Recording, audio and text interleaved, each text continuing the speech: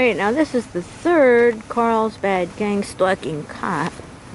You see, am I getting his... There he is. He's kind of out of... He's like turning in front of us here on the street. And, oh, he's going to park there? Nope, he's just going to go. Alright, so in other words, and then here comes a red car right after him. See, that's... They want you to know it's gang stalking so that there'll be a police car, red car. Now, why would they do that? Why would they put police car, red car? Why do they... Well... First of all, what is the purpose of this program? The purpose of this is to inspire fear in the American people. You know that Bonnie Calcagno's got all the YouTube videos? How would you like that to happen to you? So, in a sense, I'm kind of helping them along, aren't I? I'm helping them to inspire fear in the American people.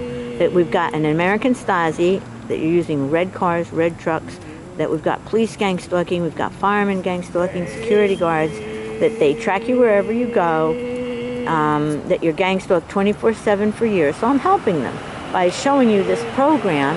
Now, what, but why am I doing this? Because you have to ask yourself, who's doing it and why? And who's doing it? It started with Dick Cheney, right? It started in the Bush-Cheney White House. It started with the neocons in our intelligence industrial complex.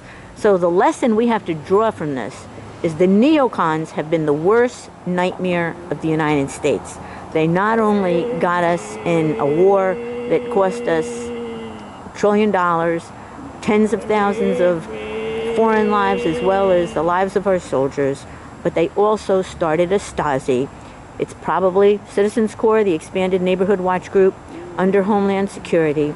And what we've got to do is have a kind of an insurrection at the presidential election of 2016.